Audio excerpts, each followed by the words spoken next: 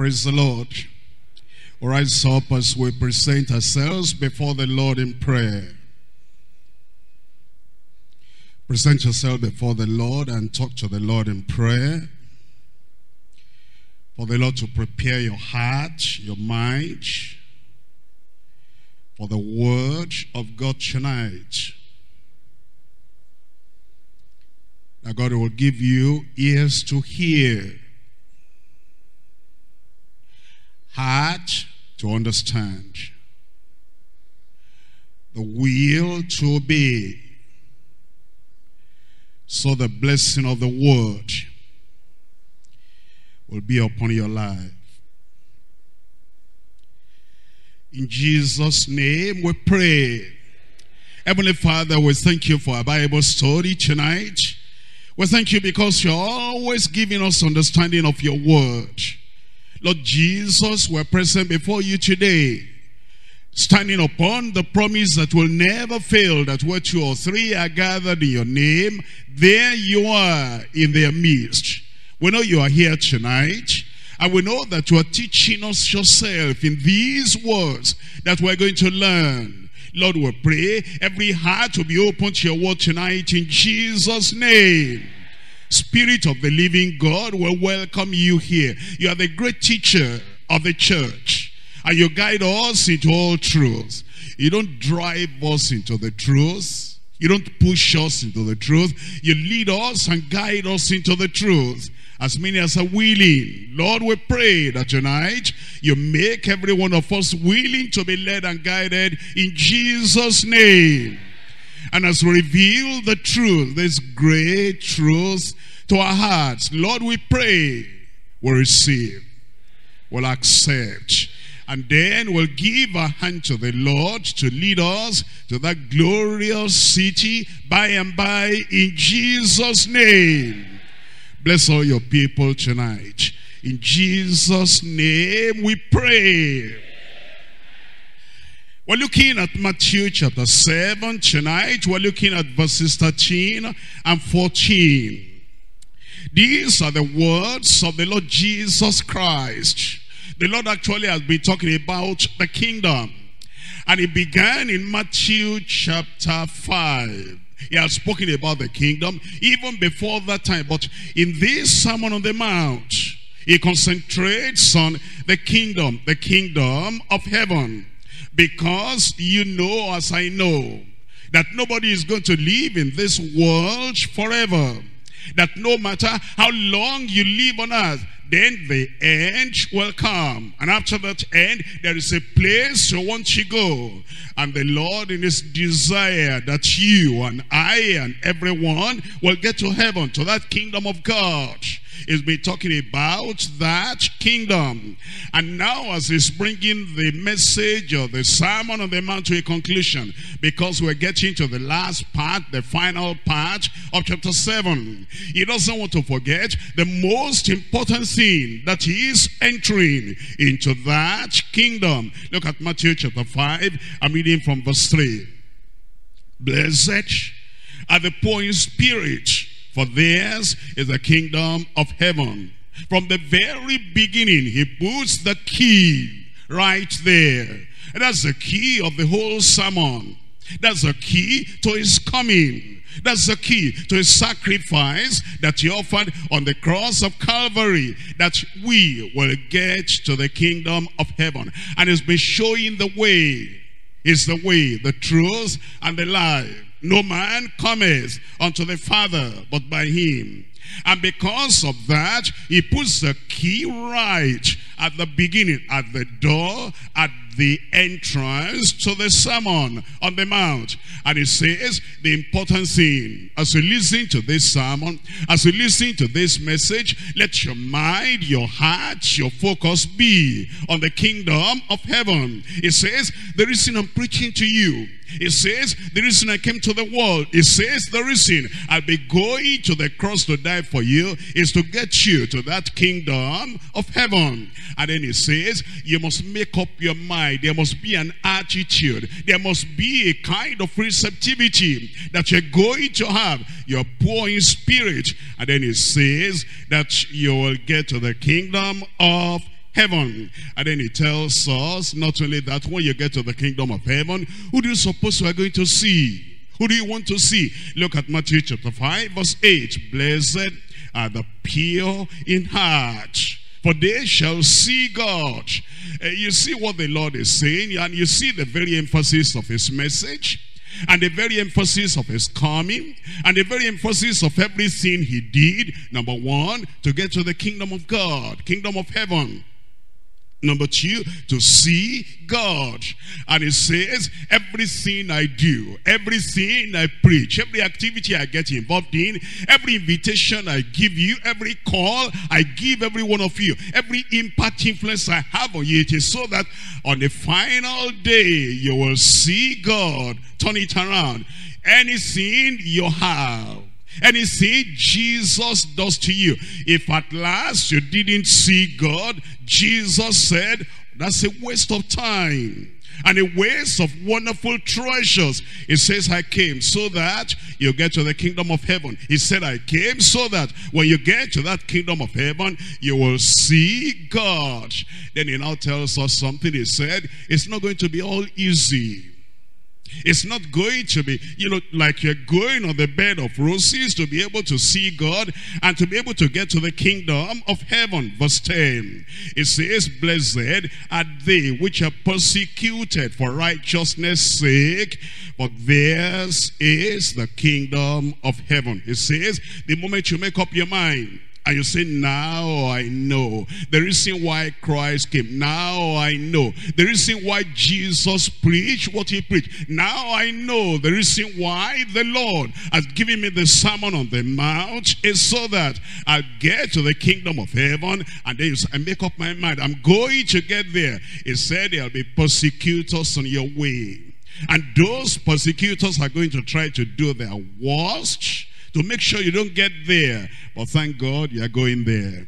And then he says, though they persecute, and though they oppress, and though they may put some fire and flame and flood and pressure and pain upon your life, here is what you need to do.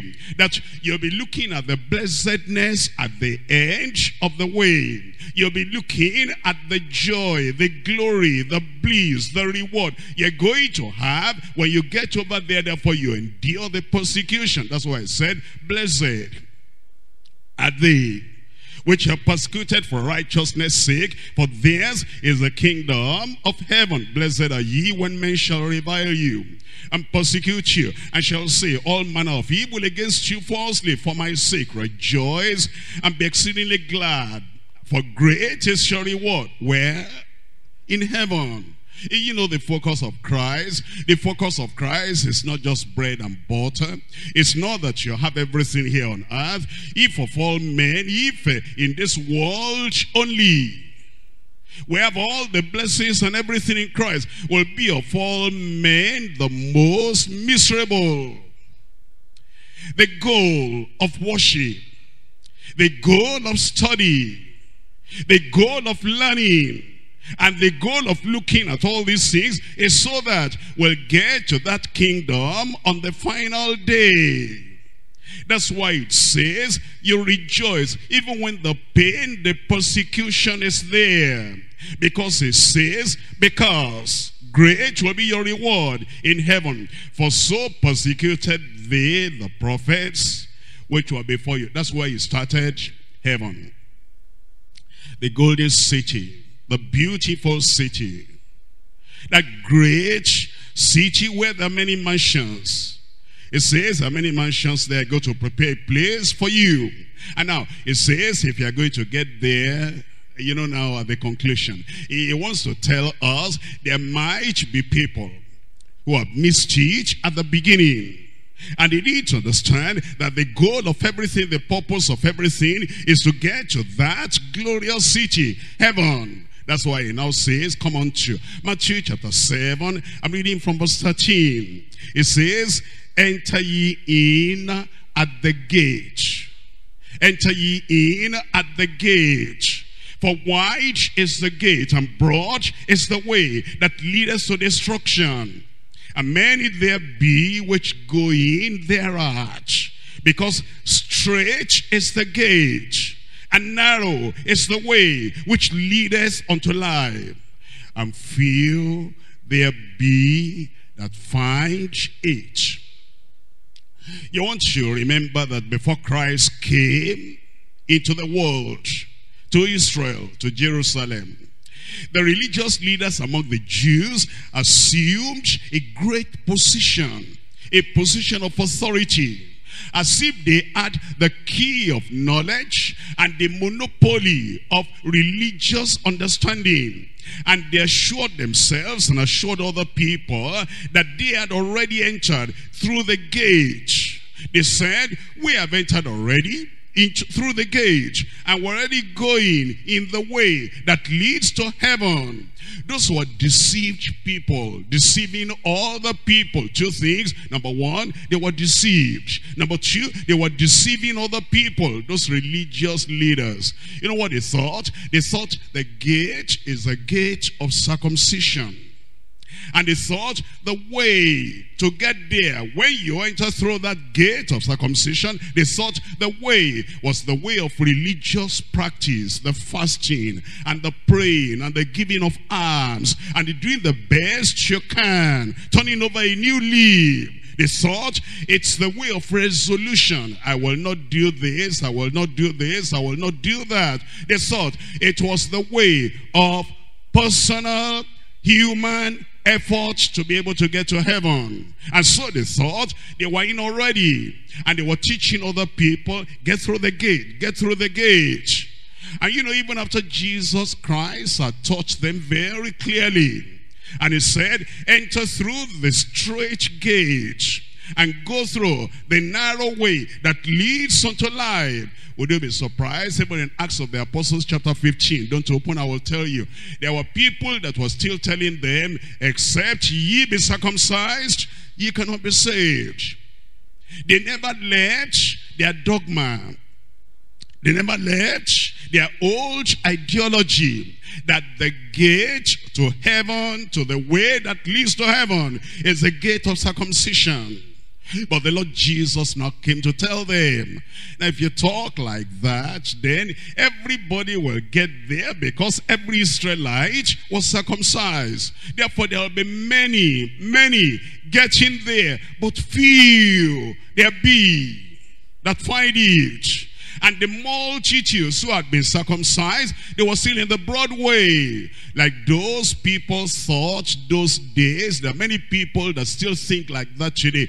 They think that you get into the kingdom of God by the natural birth. We're children of Abraham. Father and mother are religious people. And because we are born by religious people, we have entered through the gate. Many people today, they think the gate is a gate of infant baptism. And when you were born, you were eight days old, they made a mark of the cross with water on you, or the sprinkled water on you.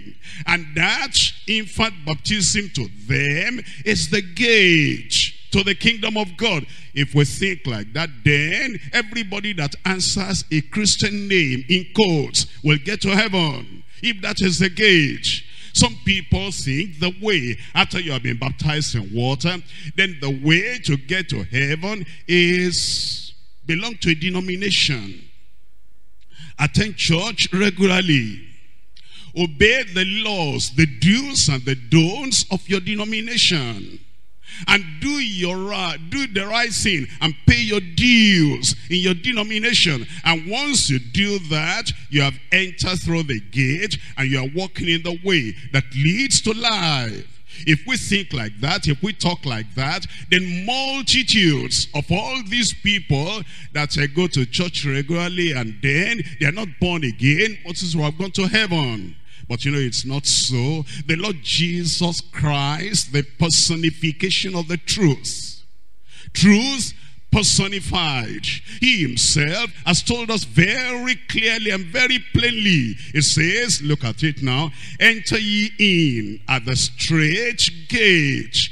Enter ye in. Look up here for a moment. If I tell somebody, are you staying there? Enter in The implication is the fellow is still outside.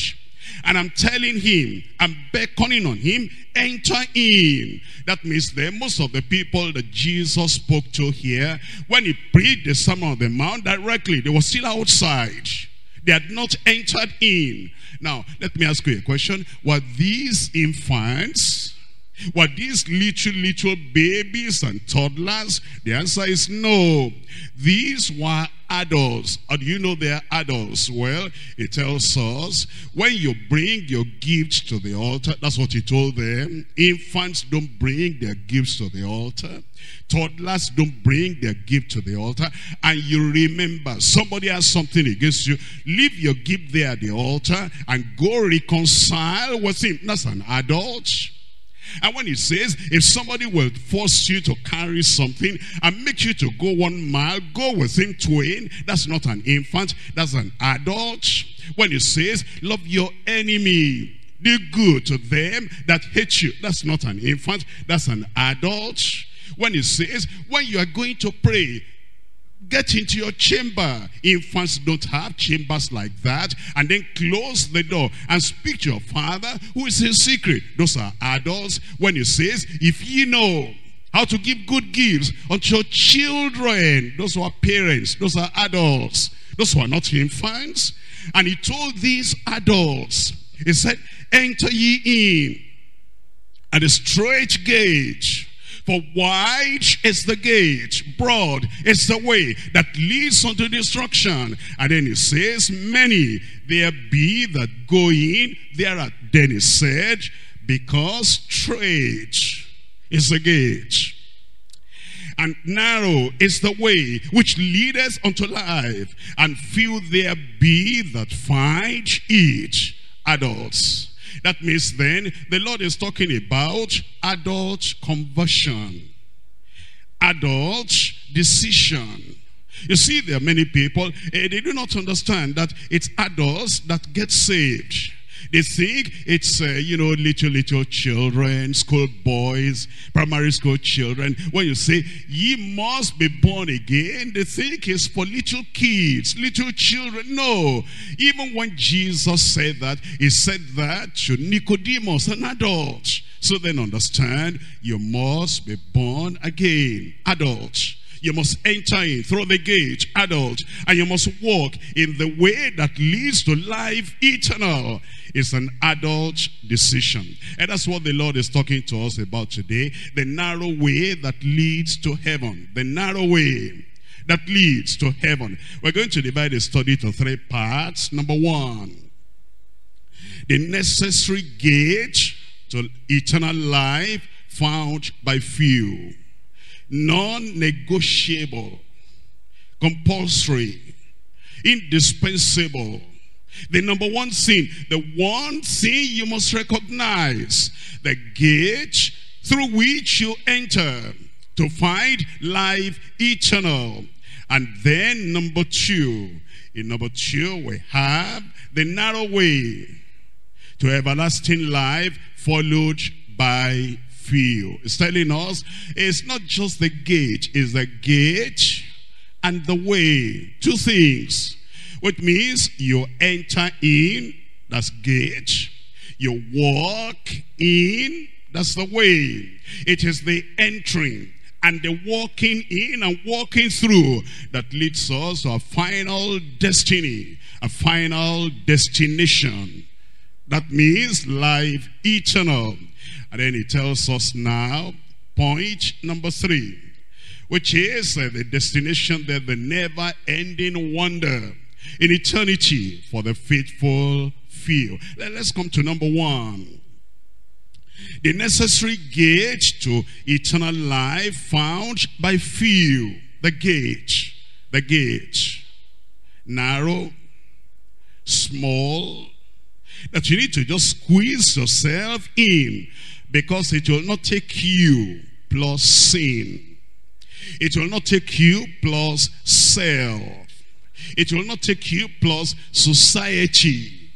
It will not take you plus ideology and philosophy. Just you. The gate is so narrow. We're looking at Matthew chapter 7, verse 13. Enter ye in at the straight gate. I told you before that what straight there means small, narrow. Then in verse 14, because straight is the gate, and narrow is the way which leadeth unto life, and few there be that find it. We're looking at Luke chapter 13. Luke chapter 13, verse 24. And the Lord emphasized this again. Actually, eh, somebody else, somebody asked a question. And in response to the question of, of the person, the Lord Jesus Christ, had to repeat it again for everybody to hear again and to understand that the gate is narrow. The gate is straight. And for us to get into the way, we cannot jump the fence. We must pass through that gate. We're looking at Luke chapter 13 verse 23. And then said one unto him, Lord, are there few that be saved? Somebody was interested. Instead of uh, knowing whether he himself will be saved or not, he wanted to know, are we going to be many there? Are there few that are going to be saved? Here is the answer of the Lord. And he said unto them, strive to enter in at the straight gate. Strive endeavor. Do your very best. And whatever you have to go through or endure so that you'll be able to enter in, do it. There'll be things that will try to stand in your way. There'll be things that will try to disturb you, hinder you from trying to get in. Something within, something around, something from outside. There's something within your own spirit, within your own heart that will be dragging you down. That will say, you don't have to do that. You don't have to deny yourself. You don't have to bear the cross. You don't have to get off all those weights of sin. The sin that does so easily beset us. You don't have to get through all that. There'll be things within your own thoughts, your own mind There'll be things that will be telling you, you don't have to be that strict to be able to get to heaven. That's what Jesus Christ said, strive. Strive with that thing within you that is trying to say, take it easy. Go slowly. Don't put so much pressure on yourself. And don't put such a great demand on yourself. Getting to heaven is not that tough. That's what I think instead will be telling you. After all, everybody else is doing it. But Jesus said, strive to enter in at the straight gate. Apart from things within, there are things around that will be trying to put some pressure on you that, you know, to live in this day in which we live and to be able to make it in this life in which we live, eh, you have to accommodate this and compromise this and yield to this and agree to that and go this length. All those things will put in some pressure on you. That's why Jesus said, from within and from without, internal, external, you're going to have those challenges except to break loose from them. And you set your eyes on that golden city and you strive. You'll not be able to get in. Strive to enter in at the straight gate. For many, I say unto you, will seek to enter in and shall not be able. They'll seek to it, they'll take life easy. They'll think it's not necessary to have repentance. Uh, I don't want to get myself through that restitution. I don't want to think about righteousness. I know God is merciful. They'll be gentle on themselves. They'll be soft on themselves. They'll say, I just want to enter in. I don't want to take religion so tough, so high, so hard, like all those other people. The way of repentance, the way of restitution, the way of righteousness, the way of self-denial, the way of the cross that leads home. I don't want to go that way. I just want to go my own gentle way and get there. It takes more than that. That's why Jesus said many will seek to enter in and shall not be able. In verse 25, when once the master of the house is risen up and has shut the door. And ye begin to stand without and to knock at the door saying, Lord, Lord, open unto us. Those are the people that pray too late. Lord, Lord, open unto us. At the time they ought to pray, they will not pray. Seek the Lord while he may be found. Call ye upon him while he's near. Let the wicked forsake his way and enter in at the gate. At that time, no, they don't have time for the Lord. They're too much in a hurry. I need to do this. I need to do this. I need to do that. I don't have too much time for too much religion now. But at last, at that final time, when the opportunity is gone, then they will pray, but they'll pray too late. Lord, Lord, open unto us. And he shall answer and say unto you, I know you not, whence ye are.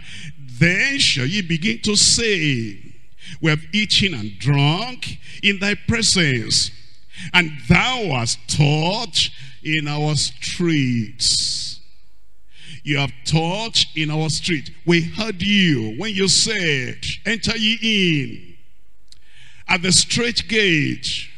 We heard you when you said, For wide is the gate and broad is the way that leadeth unto destruction. At that time, we didn't know it was that serious. We heard when you said, when you were teaching on a street, because straight is the gate and narrow is the way that leadeth unto life, and few there be that found it, that find it. We heard, but at that time, we didn't know it. It will be that serious. We thought you're going to relax the rule, and eventually we'll be able to get in. Then shall he begin to say, and but he shall say, I tell you, I know you not. Whence ye are, depart from me, all ye workers of iniquity. Verse 28, there shall be weeping and gnashing of teeth.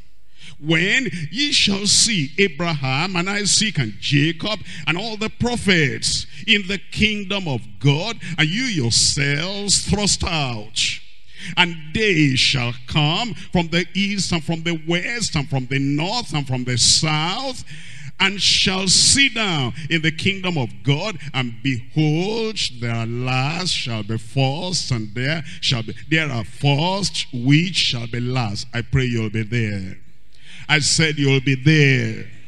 Now this gate that the Lord spoke about and now you know the Lord Jesus was not speaking to pagans. He wasn't speaking to idol worshippers. He was speaking, who was he speaking to, by the way? Number one, he was speaking to the people that had heard, ye have heard, that it had been said by them of old time, thou shalt love thy neighbor and hate thine enemy. These were religious people.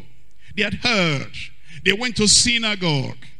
They heard some kind of superficial interpretation of the word of God. And Jesus still said, enter ye in at the straight gate. Not only that. These were people who had come from all beyond Jordan. And they had gone to listen to John the Baptist bring forth fruit, meet unto repentance. And when Jesus Christ came, those people went away from John because John was now in prison. And then they came to listen to Jesus. And Jesus said, I know you've gone to John, John the Baptist, and you have listened to him, but you have not entered in yet. He preached good message. He preached the good word, but you have not responded. Enter ye in at the straight gate. I'm telling you that these were people who had been healed and delivered of various diseases. You find that in Matthew chapter 4. Before you even come to Matthew chapter 5, look at Matthew chapter 4. I'm reading there from uh, verse 24. And his fame went throughout all Syria and they brought unto him all sick people that were taken with divers diseases and torments, and, uh, and those which were possessed with devils, and those which were lunatic, and those which uh, had the palsy, and he healed them. And there followed him great multitudes of people from Galilee, and from Decapolis, and from Jerusalem, and from Judea, and from beyond Jordan. In verse chapter 5, and seeing the multitudes, he went up into a mountain. And when he was set, his disciples came unto him, and he opened his mouth and taught them. These were people who had been healed. And yet, they had not been saved. You know, healing is for the body. Salvation is for the soul. Healing makes you to enjoy some convenience here on earth. Salvation makes you to have heaven. There's a difference between healing and salvation. Enter through the gate. You know, there are many people, they've gone to church and they think that's enough. That's not enough. They've listened to the greatest of preachers because Jesus said, of all that have been born of women, there is nobody greater than John the Baptist until that time. And these people had listened to that great preacher, John the Baptist, but they were not saved yet. Not only that, the Lord Jesus Christ had manifested his miracle working power and they had been healed and delivered, but they were not saved yet. Enter ye in at the straight gate because narrow, straight is the gate, and narrow is the way that leadeth unto life, and few there be that find it. Which gate is this, by the way? Is the gate of repentance. Jesus Christ himself emphasized that. That's how to get to the kingdom. Mark chapter 1 verses 14 and 15. Mark chapter 1, verses 14 and 15. Now, after that John was put in prison, Jesus came into Galilee preaching the gospel of the kingdom of God and saying the time is fulfilled. The kingdom of God is at hand. Repent ye and believe the gospel. You see that? That's the gate. That's how to enter. That's how to get to the kingdom of God. Repent ye. What does it mean to repent? Turn. A change of life. A change of mind. A change of spirit. A change of direction. A change of character. Turn away from every sin of the past. Turn to the Savior. Repent. Turn away from your sin. And believe the gospel the glorious gospel. Look at Acts of the Apostles chapter 3. Acts chapter 3 verse 19. Repent ye therefore and be converted. That's the way to get to the kingdom. Repent ye therefore. Recognize sin as sinful. Recognize how deadly, how terrible sin is.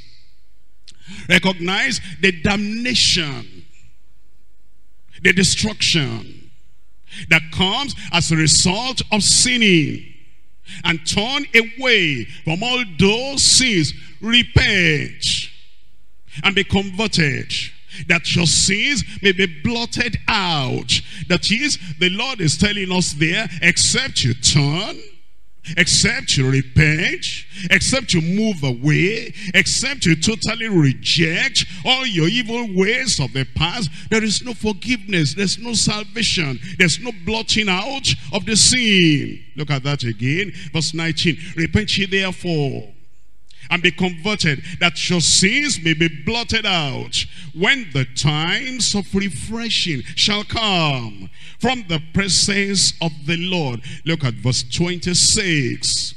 Unto you, first God, having raised up his son Jesus, sent him to bless you what kind of blessing? In turning away every one of you from his iniquities. That's the gate to turn you away from your iniquity, from your sin. That uh, there comes a moment in your life, a definite time in your life that you say, now I want to enter in through the gate you know that uh, that's not a long process. Salvation is an instantaneous experience.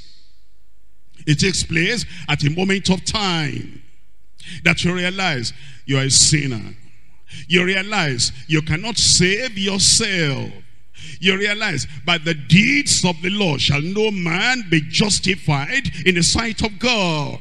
You realize, could my tears forever flow and my zeal no respite know? All for all for all all these for sin cannot atone.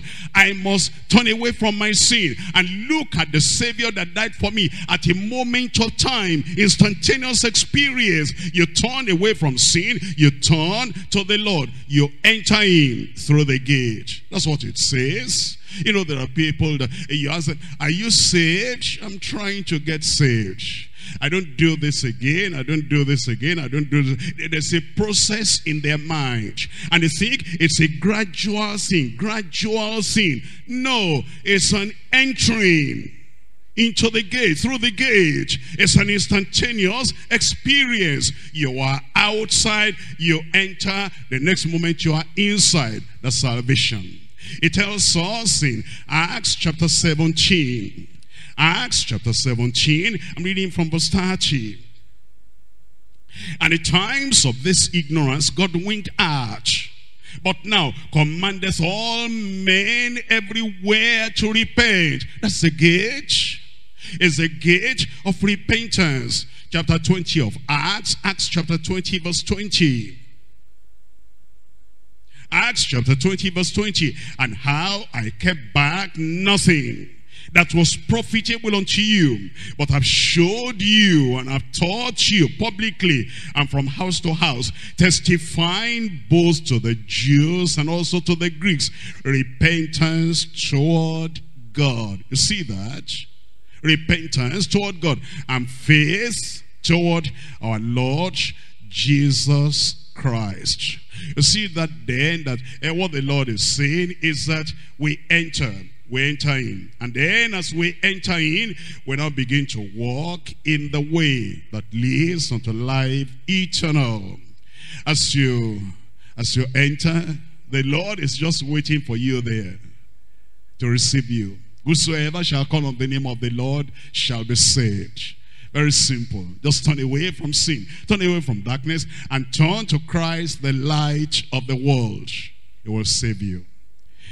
And everyone, as you come to the Lord, then he'll give you the grace. And the grace is to help you now to now walk, walk, walk in the way that leads unto life. You know, there are people that say they get saved and they just stay there at the gate. They stand still at the gate. They don't go to church. They don't read the Bible. They don't ask the Lord, what will you have me to do?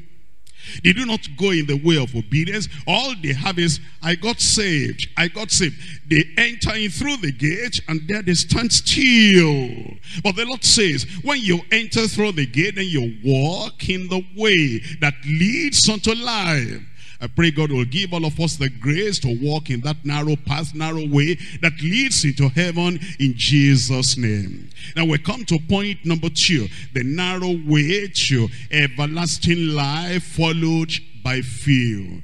The narrow way to everlasting life followed by few. Matthew chapter 7, we're looking at verse 14.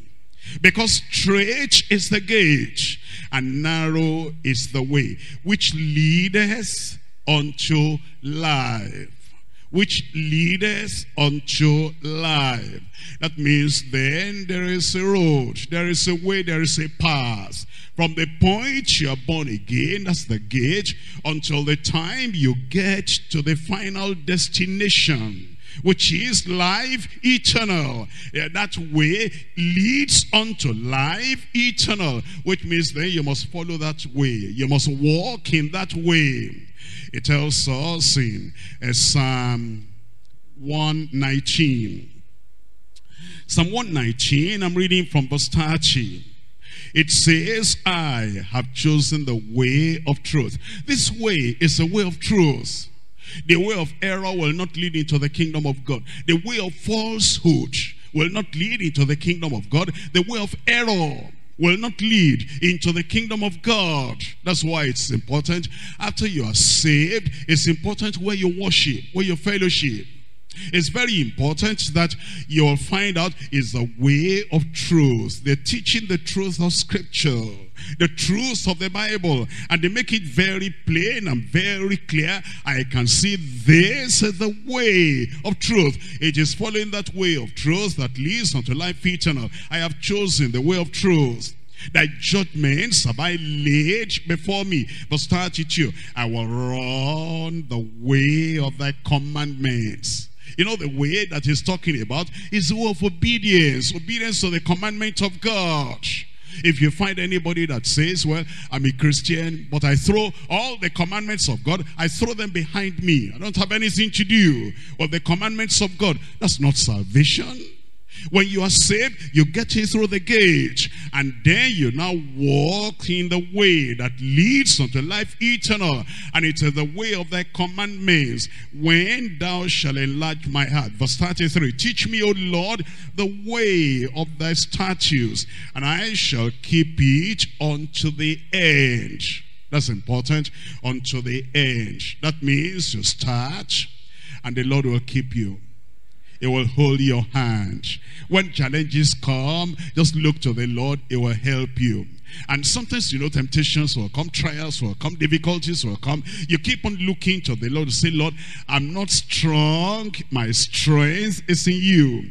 You say, Lord, I don't know everything, but my knowledge is in you. And you're giving me the knowledge and the wisdom, the understanding that will lead me to that life eternal. And once you are dependent upon the Lord like that, and you're not independent, you're not isolated, you do not remove your hand away from the hand of the Lord. The Lord is of mighty strength. He will carry you through. Look at that verse 3 again. Teach me, O Lord, the way of thy statutes, and I shall keep it unto the end. I, we're looking at Psalm 143, verse 8 and verse 10. Psalm 143, verse 8. Cause me to hear thy loving kindness in the morning for in thee do I trust. Cause me to know the way wherein I should walk. For I lift up my soul unto thee. That's the way. Let me know the way I should walk. You know, when we get saved, at the point of that salvation, what, what do we know? We know next to nothing. We just gave our lives to the Lord. We just turned away from our sins. And we do not know every doctrine of the Bible. That's why we're telling the Lord, cause me to hear, make me to hear, make me to learn of thy loving kindness in the morning. For in thee do I trust. Cause me to know the way wherein I should walk. In verse 10, teach me to do thy will is a confession and acceptance of our ignorance. And that's what God wants. You tell the Lord, I don't know everything. I don't know what I should do. I don't know how I should live. I don't know what comportment, conduct, character I should have. Oh Lord, teach me, he says, to do thy will. For thou art my God. Thy spirit is good. Lead me in the land of uprightness. The Lord will do it. We're told in Proverbs chapter 12, verse 28. Proverbs chapter 12. And we're reading from verse 28. In the way of righteousness is life. When Jesus said, enter through the gate at the gate. But narrow, straight is the gate. And narrow too is the way that leads unto life. Number one is the way of truth. Number two, it's the way of righteousness. And it's when you take that way of righteousness, then you will get to that life eternal at the end. In the way of righteousness is life. And in the pathway thereof, there is no death. Look at chapter 15 of Proverbs. Proverbs 15, we're looking at verse 28. The heart of the righteous studieth. Uh, chapter 15, we're looking at verse 24. Verse 24. It says, the way of life is above to the wise. God will make you wise. He, and that he may depart from hell beneath. The way of life leads you to life above. So that as you are following that way of the Lord, that's what the Lord is talking about. You don't live like the unbelievers live anymore. You don't go to the places they go anymore. And the grace of God is there. And that grace of God is keeping you. And it makes you to always avoid, always run away from the way of hell. You will escape. Isaiah chapter 35. In Isaiah chapter 35, we're reading from verse 8. Isaiah 35, verse 8. And an highway shall be there, and a way and it shall be called the way of holiness. You get the point now when Jesus said, because narrow is the way. What way is that? It says the way of truth. It says the way of righteousness. Here he calls it the way of holiness. And then it says, the unclean shall not pass over it. The unclean shall not pass over it. How? Look up here. Here is the gate. And then you cannot get into the way without going through the gate. When you get to the gate, you repent. Your sins are forgiven. The blood of Jesus washes whiter than snow. And then as you move now into the way, there is no sin. They are forgiven. They're taken away. If the Son shall set you free, he shall be free indeed. That's why it says there is no way the unclean will get into that way. Because the only way to get into that way, the only possibility of getting into that way is through the gate. And the moment you pass through that gate, the sins are forgiven.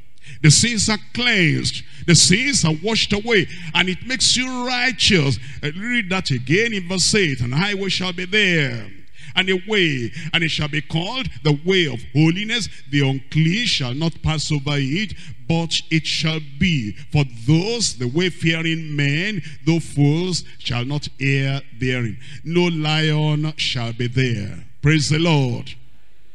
You don't have any fear that, you know, as I'm walking in the way, what if a lion meets me on that way? No lion shall be there. All your enemies are crushed and totally conquered. And the Lord will make you go through without any danger. Just keep your eyes on the Lord. And it says, no ravenous beast shall go up thereon. It shall not be found there, but the redeemed shall walk there. And the ransomed of the Lord shall return and come to Zion. And then it says, with songs and everlasting joy upon their heads. And then it says, they shall obtain joy and gladness, and sorrow and sighing shall flee away. Amen. We're looking at Second Peter now, chapter 2. Second Peter chapter 2, I'm reading verse 20. Second Peter chapter 2, verse 20. Here is where a child of God will pay attention. Here is where somebody who really wants to get to heaven will pay attention. Here is where somebody who is a real child of God, he has gone through the gate. He is walking in the way. Here is the point. He must not be over confident. You know Peter, Simon Peter. He already entered through the gate. And then he was walking in the way. And the Lord told him, dangers ahead, temptations ahead, trials ahead, challenges ahead. Oh, and he said, Lord, don't worry about me. Over confidence. That's what you must never, never allow in your heart, in your life. Over confidence. Because those who are overconfident, when the temptation comes, they trip, they fall, and eventually they return from the way of righteousness, and then they leave the narrow way, and they go back to the broad way. Second Peter chapter 2, verse 20. For if after they escaped, they have escaped from the pollutions of the world, through the knowledge of the Lord and the Savior Jesus Christ. Those are the people that entered in through the gate. They escaped the pollution and the corruption of the world and the lust of the world. And they escaped that by going through the gate, through the knowledge of the Lord Jesus Christ as Savior. It says, they are again entangled therein. That means they leave the narrow way. They get involved in the broad way again. And they again entangled in the past life. Then it says, the latter, and they overcome. The latter end is worse for them than the beginning. For it had been better for them not to have known the way of righteousness. They knew the way of righteousness. They were walking in the way of righteousness.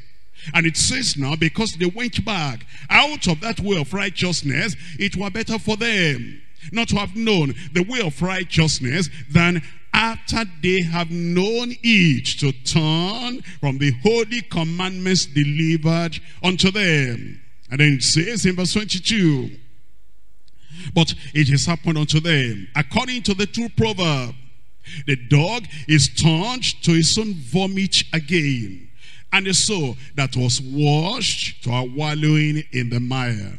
Uh, can I just show you some examples of those who did that?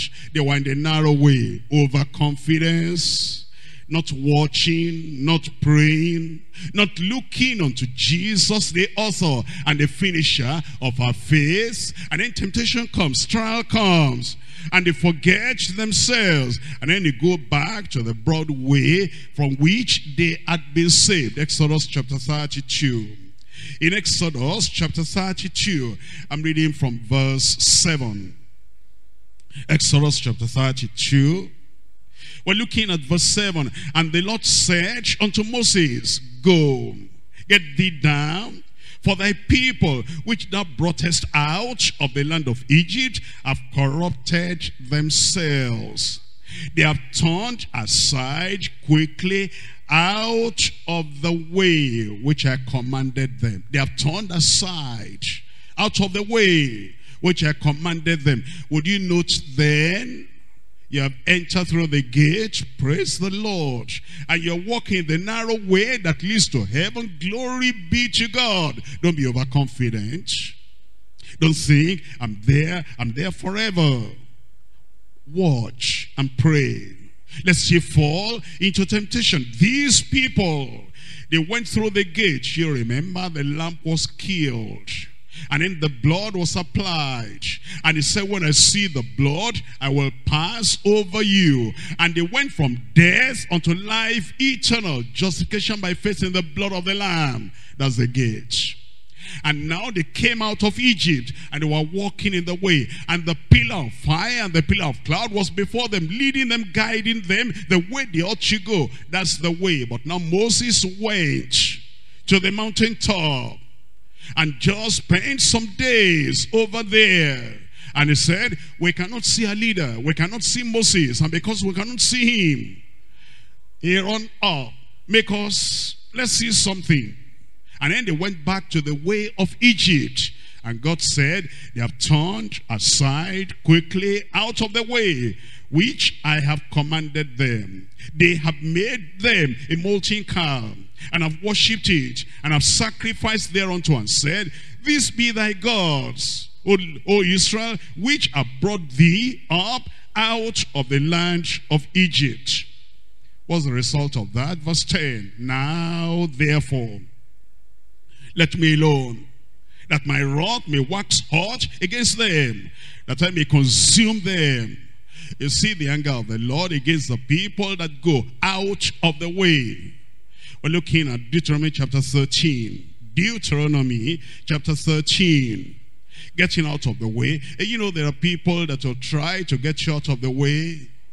And they'll tell, they have a better thing. They have an alternative. They have a simpler way. And they have a more beautiful way. And then they'll describe it to you. Don't listen to them. The Lord has brought you through the gates. Thank God you are born again.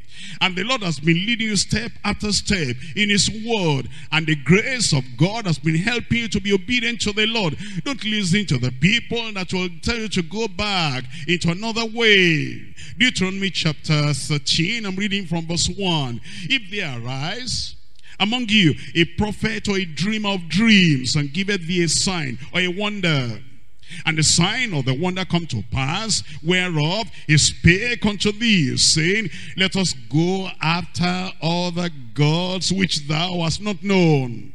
And let us serve them. And he's saying that, you know, God is not enough. The one that delivered you out of the land of Egypt is not enough. The one that ransomed you is not enough. The one that got you through the Red Sea, that's not enough. And the one that is giving you manna every day, that's not enough. The one that has the canopy of protection, a cloud of a cloud of fire, and cloud, a pillar of fire, and cloud of a of a the, the, the pillar of cloud over you. They say that's not enough. They say, let's go to another God. And then it says in verse 3, Thou shalt not hearken unto the words of that prophet or that dream of dreams. For the Lord your God proveth you to know whether ye love the Lord your God with all your heart and with all your soul. In verse 4, ye shall walk after the Lord your God and fear him and keep his commandments and obey his voice and ye shall serve him and cleave unto him and that prophet or that dreamer of dreams shall be put to death count him as dead and don't commune with the dead. Don't relate with the dead. Don't interact with the dead. Don't go and visit the dead. Because their pathway is death. And it says, shall put him to death because he has spoken to turn you away from the Lord your God, which brought you out of the land of Egypt and redeemed you out of the house of, of, of bondage. Listen to this, to thrust thee out of the way to thrust thee out of the way which the Lord thy God commanded thee to walk in. So shalt thou put evil away from the midst of thee. We will not follow them. I said you will not follow them. Proverbs chapter 21 verse 16. Proverbs 21 verse 16. The man that wandereth out of the way of understanding shall remain in the congregation of the dead. The man that wandereth away from the way of understanding. Look at the understanding the Lord is giving us in his word. As we study from verse to verse, from chapter to chapter. And anybody that will leave something like this and then wander away from the way of understanding, he will join the people who are in the broad way. Those are dead people. They're dead spiritually. You'll be in the congregation of the dead. That's why the Lord is warning us. Remain in the way of righteousness. Hebrews chapter 12. Hebrews chapter 12 verse 13. Hebrews chapter 12 verse 13 and make straight paths for your feet, lest that which is lame be turned out of the way. Lest that which is lame be turned out of the way. When you find your feet shaking, when you find your feet weak, when you find your mind weak, and then you have to come to the house of God. And you're saying, I don't know whether I'm going to go today or not. My mind is weak. My heart is weak.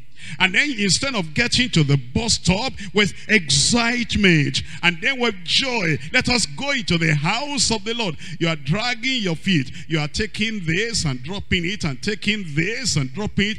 Your spiritual feet is becoming lame. And it says in that verse 13, make straight paths for your feet, lest that which is lame be turned out of the way. That's the beginning of the devil trying to turn you out of the narrow way that leads to heaven. And you will say, no devil, you will not succeed. And Satan will not succeed upon your life. And then it says in that verse 13, but let it rather be healed. Come to the house of the Lord and let him give you strength for your weakness. Come to the house of the Lord and let him give you healing for your spiritual and physical sickness. Come to the house of the Lord. And then all your feet that were shaking before, when you come to the house of the Lord, once again, you will receive strength from the Lord the Lord will touch you. And the touch of the Lord will bring strength to your life, to your soul, to your spirit, and to your feet. And once again, you'll be walking in that path that leads to heaven in Jesus' name. We come now to point number three. The never-ending wonder in eternity for the faithful few. The never-ending wonder for in eternity for the faithful We're looking at Matthew chapter 7 and we're looking at verse 14 again. In Matthew chapter 7 verse 14, it says, Because straight is the gate and narrow is the way which leadeth unto life which leadeth unto life. And then it says and few there be that find it. To start with you know sometimes the devil comes to you it comes to everyone. He even came to the Lord Jesus Christ. So that doesn't make you a sinner. That doesn't make you a backslider. The devil can whisper in your ears. You can still be a child of God. The devil can bring temptation. You're still a child of God. The devil can begin to talk to you and begin to reason with you. You're still a child of God. The devil reason with Christ and try to talk him out of the way of the Lord. But Christ was still Christ. And so sometimes the devil will come to you and say, now think about it. How many people believe what you believe? How many people stand on what you stand? How many people have the same, same conviction as you have? How many people hold the Bible the way you hold the Bible. How many people actually believe that without holiness no man shall see the Lord? And then if you're not careful, you begin to reply and say, well, looks like, uh, well, it's not many people believe that. There you are. Now, do you think that only the minority or the right, that's the devil talking? Do you think that only few people, count them, one, two, three, just those few people? Look at all those multitudes. So people people and they are saying hallelujah praise the lord and they too they are saying they are going to heaven. Do you think that those multitudes of people are wrong? And do you think that you among the few, among the minority, do you think that you are the only right people, repentance and, and restitution and righteousness and faith in Christ and holiness and bearing the cross and denying yourself to follow Christ? Do you think that only those few people will make it to heaven? Don't listen to him. Don't, don't discuss with him. That devil is clever even try to tell Jesus to worship him. Think about that. Don't argue with him. Just say, leave me alone. I know whom I believed. And I know that I've committed my soul into his hand. And this word that he has given me, Jesus Christ the same, yesterday, today, and forever. And because of the unchanging Christ, here is the unchanging word. His word will never change. I said his word will never change. And he said, few there be that find it. And thank God you are part of that few. Anytime the devil tries to bring discouragement, just say, well, thank God I have what multitudes don't have. And I know what multitudes don't know. And I'm on the way that multitudes have not discovered. I'm one of the faithful few and I pray the Lord will keep you faithful to the end in Jesus' name. But now it says, this is the way, the narrow way that leadeth unto life that leadeth unto life. When Jesus said that, he indicated that all the joy, all the glory, all the inheritance, all the state and bliss, all the happiness and the perfect rest that believers are going to have when we get to heaven he came from heaven. He knows about heaven. He went back to heaven. He knows all about heaven. He is now in heaven making intercession for you and for me. And he's preparing a place in the mansions of heaven for you and for his people. He knows what no man on earth knows about heaven.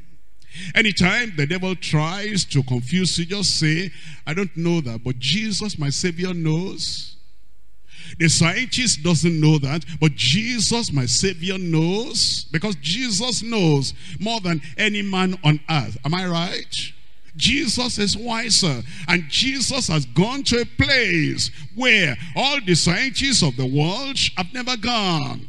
Because you see, as Jesus rose from the dead, he appeared by many infallible proofs unto his disciples. And then on that final day, the 40th day, they saw him like this after he appeared unto them. And then he was taken away. And they saw he went into heaven.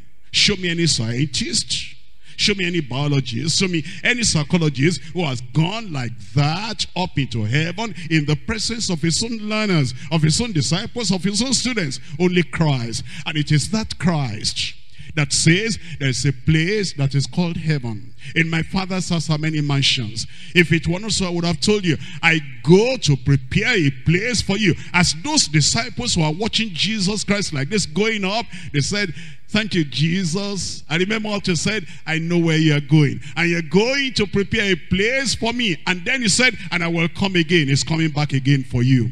Always remember that. At the time of temptation, at the time of trial, at the time when the persecution and the pressure is so much upon your life, remember, it will not be long. Christ will come back for you. And then he'll take you up to that heaven. The future destiny of those who persevere on the narrow way till the end is glorious beyond what human tongues can tell. In heaven, we shall be in a, in a better state. We shall be present with the Lord we shall shine as the sun, as the sun in the firmament forever and ever. We'll have the radiance of the Lord Jesus Christ, what he had on the Mount of Transfiguration. In heaven, we shall be like the angels of God. We shall be with Christ where he is, and then we shall behold his glory, and we ourselves shall have his glory revealed in us. That heaven, you will get there. Heaven a better place and the most beautiful place on earth. The Lord has gone to prepare a place for you and for each pilgrim who endures to the end. It's a place of perfect security a place of perfect rest. And we shall be like him and we shall we shall be with him as well. In heaven there will be no sorrow. Give me a good amen.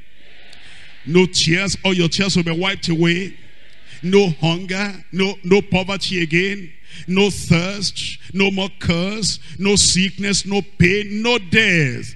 And thank God that's the place you are going. I said that's the place you are going. You set your face as a flint and nothing will drive you back.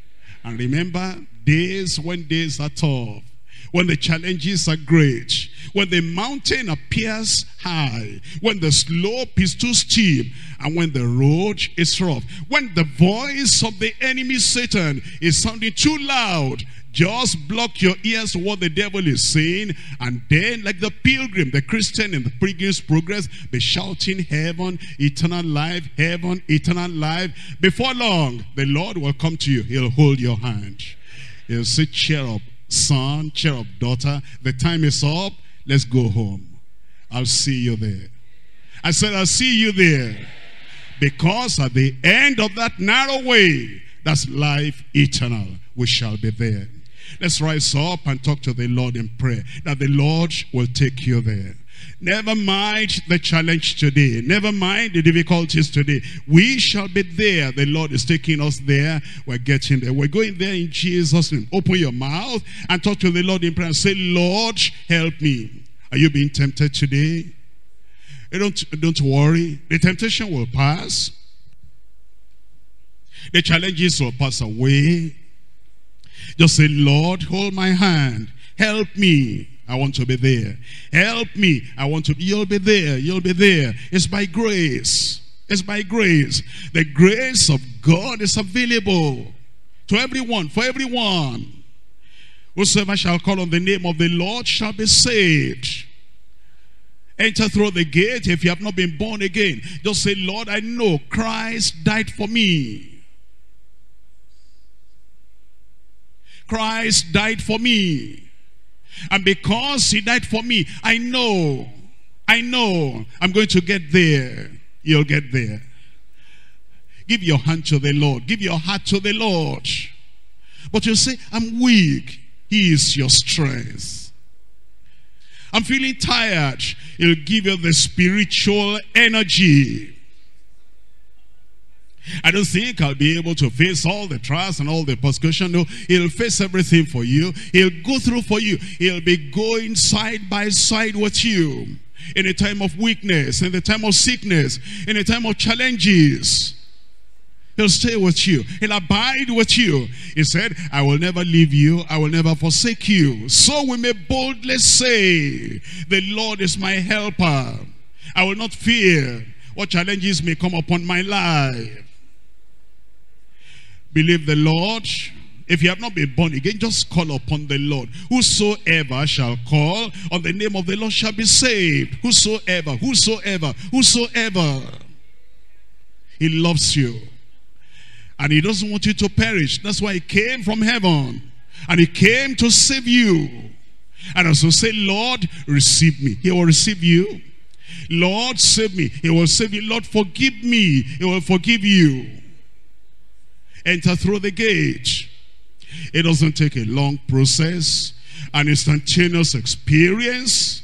As you believe on the Lord, he gets you saved. Gets you saved. All the sins you committed since you were born, everything is forgiven as you believe on the Lord Jesus Christ. And then now he holds your hand and step by step, step by step, one step at a time, he leads you in the way that leads unto heaven. You are precious in his sight. He has a place in heaven for you. When the days are hard, tough, when the challenges are great and high, remember, the Lord who has saved you will lead you through. The Lord who has saved you, he'll lead you through. There's no temptation so tough. There's no situation so difficult that the Lord will not be with you. He'll abide with you. He'll stay with you until the end. Give him your hand. He will hold your hand. He will not leave you until he takes you to heaven. He has prepared a place for you already. Don't allow your place in heaven to be vacant.